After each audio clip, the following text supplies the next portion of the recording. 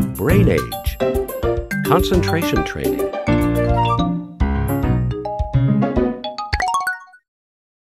Before you start to work or study, take a moment to prioritize your goals for the day. Such prioritization is actually very good brain training.